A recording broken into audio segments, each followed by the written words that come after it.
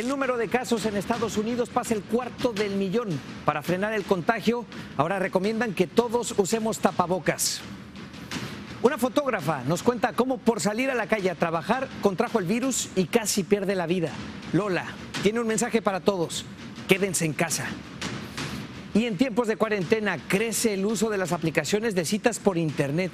El encierro estimula la creatividad de las parejas, sea virtual o en persona. El amor nunca muere.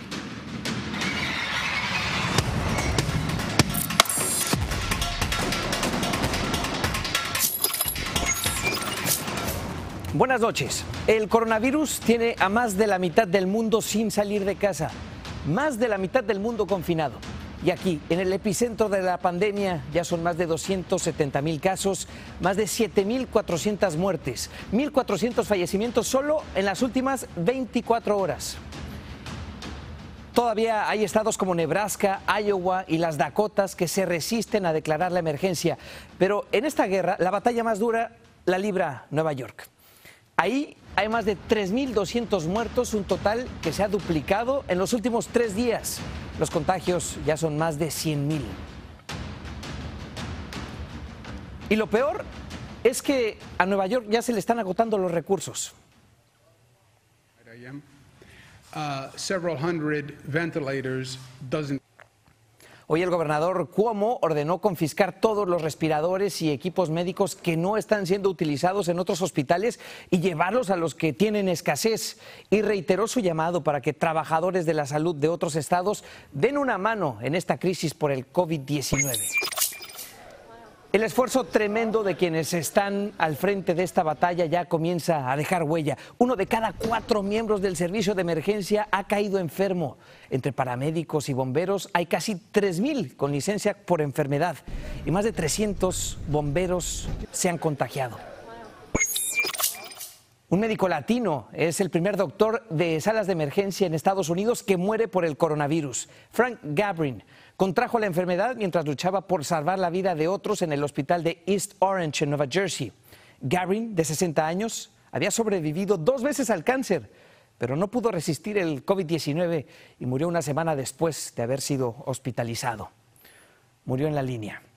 Bueno, hoy el gobierno dio el paso y recomienda finalmente a todos los estadounidenses llevar siempre mascarilla en público para evitar contagiar a los demás. Uno de cada cuatro portadores del virus no sienten síntomas, pero pueden transmitirlo. Por eso los tapabocas son tan importantes. Aunque esta tarde el presidente Trump dijo que él no lo va a usar. Así es, Julio, muy buenas noches. El presidente Trump dice que se está basando en las recomendaciones de expertos y científicos que aseguran que cubrirse la nariz y la boca puede ayudar a detener el contagio del coronavirus. Por eso se lo está recomendando a todo el país, pero aseguró que él no lo va a hacer.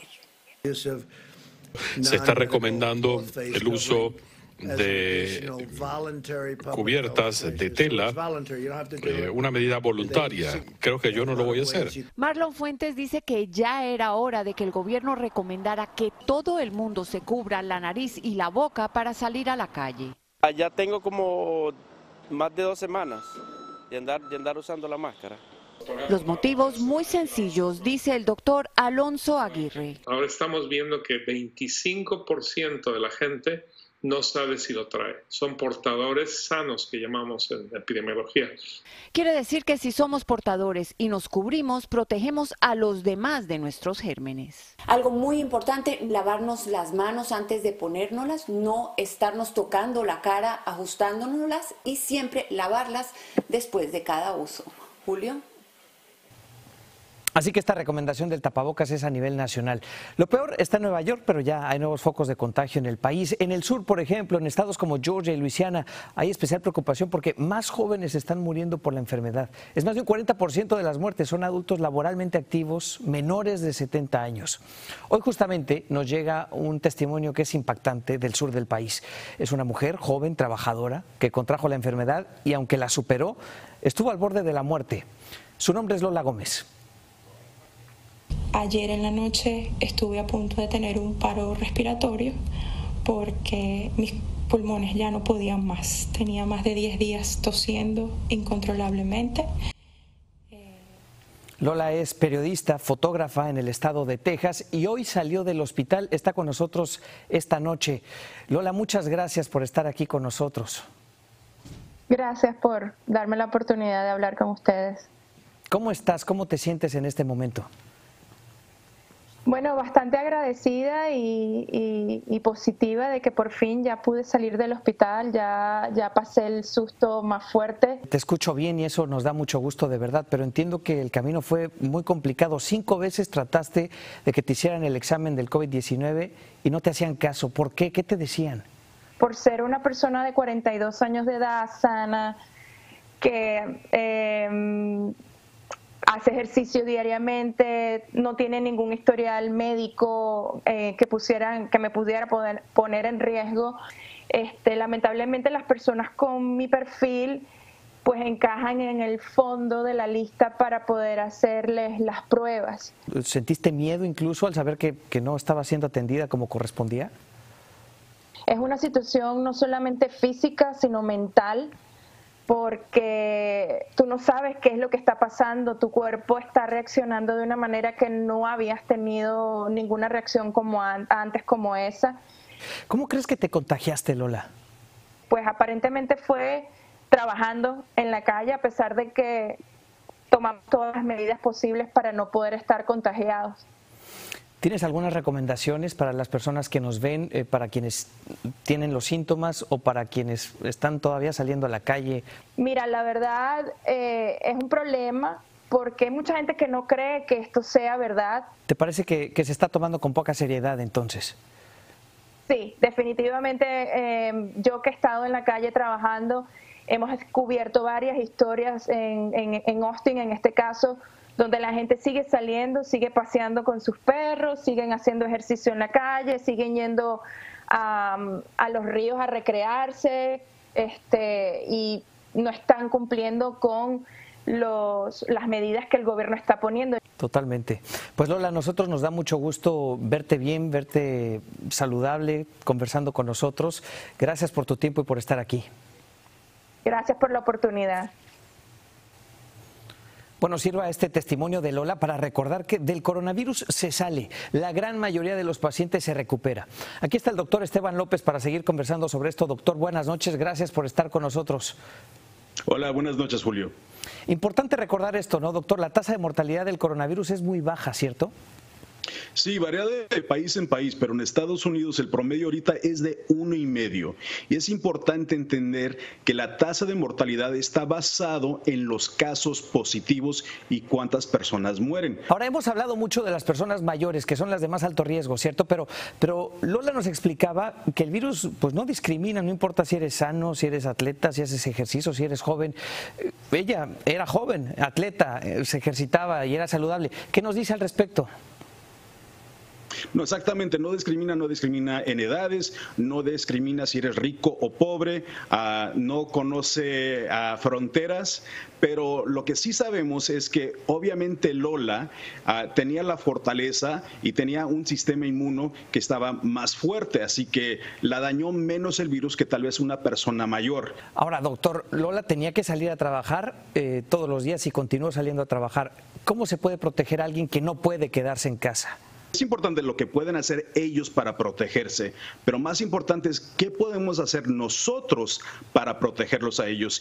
Y hoy la, Casa Blanca y el CDC hizo una recomendación muy importante, que todo el mundo que salga a la calle, ya sea al supermercado o la farmacia, que use un tipo de cubreboca o mascarilla. Te voy a mostrar el mío, que, que me hizo mi hermana uno que viene de como soy de Los Ángeles. Buenísimo, ah, doctor. Cubrirnos la boca es muy importante ah, al salir a la calle para proteger a los demás. Bueno, va a ser difícil encontrar un cubrebocas tan atractivo como el suyo, doctor, pero muchas gracias por su tiempo y por sus respuestas. Ok, gracias a ti. Bueno, el personal médico que trabaja en uno de los hospitales de Nueva York más golpeados por esta emergencia recibió hoy un reconocimiento muy, muy merecido. Los bomberos, ahí lo ve, los esperaron en fila con aplausos, con sirenas encendidas, con letreros, en una muestra de apoyo al esfuerzo descomunal que están realizando. Un buen gesto para un viernes. Al frente de esta batalla, en primera fila, hay muchísimos inmigrantes. Su papel es fundamental en los hospitales y para muestra este dato. Mire usted, uno de cada cuatro doctores en Estados Unidos son inmigrantes. Y así es como se desglosa el sistema sanitario en este país. También uno de cada cuatro son cirujanos, uno de cada cuatro son enfermeros. Y si lo vemos en otros trabajos que son esenciales y que no se han detenido a pesar de la crisis, vemos lo mismo. Trabajadores agrícolas en el campo, la gran mayoría, conductores, choferes, eh, cocineros, cocineros y, chefs en restaurantes. Lo vemos en muchos ámbitos. Los inmigrantes son fundamentales, pero a pesar de ser fundamentales, son unos de los más golpeados por esta crisis. Y para muestra, los agricultores en el sur de la Florida, que están viendo que gran parte de sus cultivos se están echando a perder. Martín Berlanga conversó con ellos. Por los fértiles surcos en los sembradíos de la Florida se propaga una gran tragedia agrícola se perdieron muchísimos campos de calabaza. Hay gente para hacer el trabajo, pero no tienen el mercado para venderlo. Blanca Rivas, quien supervisa un grupo de campesinos en Homestead, explica que se dejó de vender cuando se emitió la orden de cerrar los restaurantes por peligro al contagio del COVID-19. Estos sembradíos de tomate están a punto de ser quemados. De nada les sirvió a estos campesinos cuidarlos durante meses. No, pues es una lástima que no se, no se pudo aprovechar, pues. Este tomate, por ejemplo, ya se echó a perder. Como una catástrofe descomunal califican los agricultores de Homestead lo que está sucediendo en estos campos, porque la fruta, legumbres y verdura se está perdiendo. No hay nadie que la levante. Resulta doblemente caro hacerlo. Los agricultores enfrentan una encrucijada terrible en la que todos pierden, la de destruir tales cantidades de comida cuando sabemos que la vamos a necesitar o bien regalarla antes de que se pudra. En este banco de comida cientos de personas reciben muchos de esos productos del campo. Si no, esto se fuera a la basura. Y ahora está yendo a las personas que lo necesitan de verdad. Quienes la reciben están más que agradecidos en estos momentos en que el país atraviesa por una ola creciente de despidos. Pero quienes producen esa comida temen que pronto no podrán proveer a sus familias. Nadie ayuda a las personas que, que andamos aquí.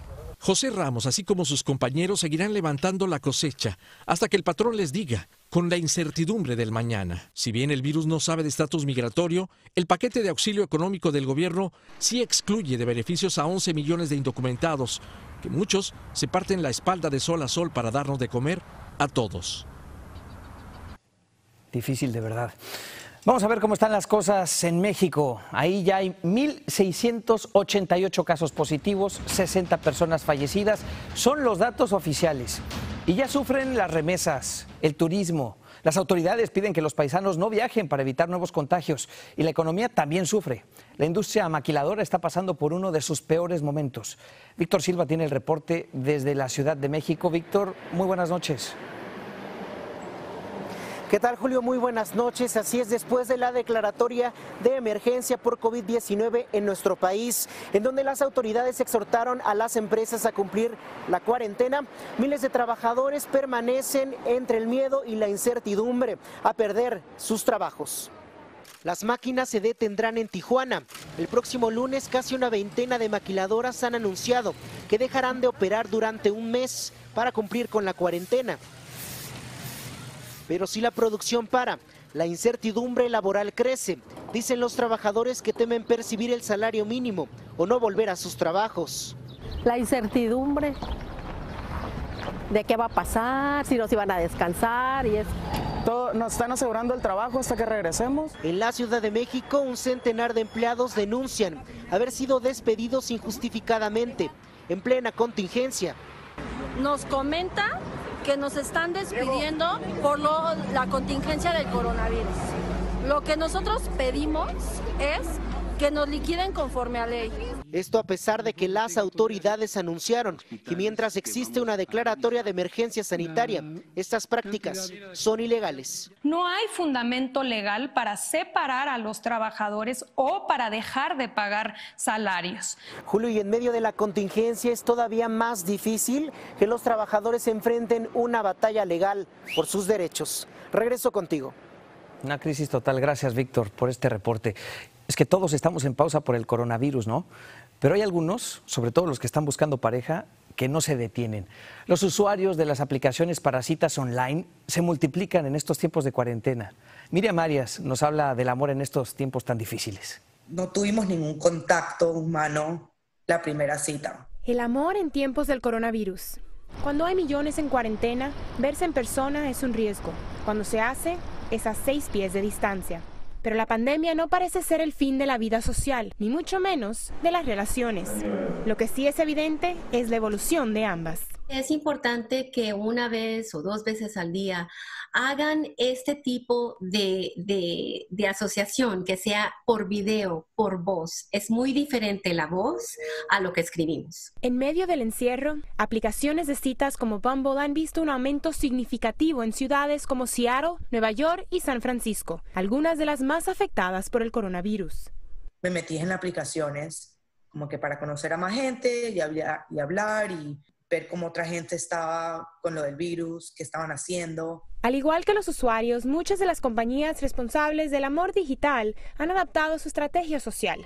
Match lanzó la herramienta Citas a Distancia y Coffee with a Bagel está alentando a los usuarios a ponerse creativos con citas digitales. Una cena donde la mesa es la pantalla de una computadora. Y me dijo, vamos a tener una cita, vamos a hacer una cena y comer nosotros, aunque vamos a estar separados, vamos a los dos a hacer algo que queremos comer. Ya sea una cita virtual o una en persona, pero a distancia, el amor en tiempos del coronavirus es viral. ¿Qué tal ese beso en la boda, eh? Con mascarillas. Al regresar, le explicamos por qué la gasolina está tan barata, pero aún con estos precios, quédese en su casa. Ya venimos.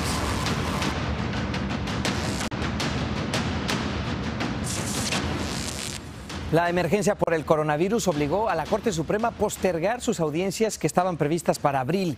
Entre los casos más importantes que ahora deberán esperar figura el reclamo de los demócratas para que se hagan públicos los registros financieros del presidente Trump y las excepciones del Obamacare para grupos religiosos. Bueno, el consumo de gasolina cayó hasta niveles nunca vistos en los últimos 25 años. Lógicamente, también los precios han caído. El galón de gasolina está a un dólar con 95 centavos en promedio. Una de las razones es que estamos usando mucho menos el auto. La buena noticia es que según los expertos, cuando esta crisis termine, los precios no van a subir mucho tampoco, porque habrá mucha reserva de gasolina al regresar.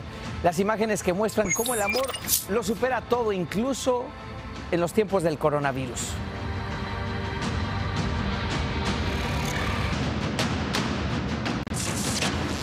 Pues nos vamos, pero le compartimos estas imágenes de afecto.